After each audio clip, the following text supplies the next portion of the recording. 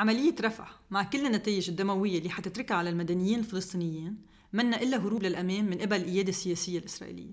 اللي لهلا ما بتملك تصور لكيف حتخلص الحرب وتحقق هدفها بإنهاء حكم حماس. هيدا اللي كشفته عدة تطورات خلال اليومين الماضيين.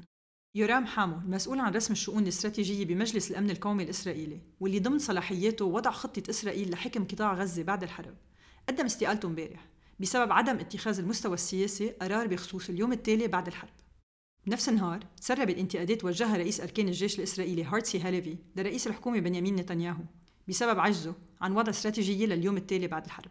ربطت انتقادات هاليفي بين غياب هالخطة والتخبط اللي عم بيعاني منه الجيش من خلال اضطراره للعودة للقتال بمناطق قاتل فيها سابقا بشمال غزة. بدون الجهد الدبلوماسي لحل المسألة رح يضل الجيش علقان بالقتال مع حماس إلى ما لا نهاية. نقلت القناة 12 الإسرائيلية عن مسؤولين كبار بالجيش باليوم نفسه انتقادات مشابهة. وكشفت عن محادثات من داخل اجتماعات الحكومة الإسرائيلية بتأكد وجود خلافات على كيفية إدارة التخطيط لليوم التالي دوره نبه وزير الخارجية الأمريكي أنتوني بلينكن إسرائيل من موقع الحريص على مصالحها أن الهجوم على رفح ما رح ينهي حكم حماس We also haven't seen a plan for what happens the day after this war in Gaza ends. Even if it goes in and takes heavy action in, in Rafah, there will still be thousands of armed Hamas left. بظل هالمشهد السياسي الدمار والقتل منه صورة نصر عسكري بل صورة سكوت أخلاقي.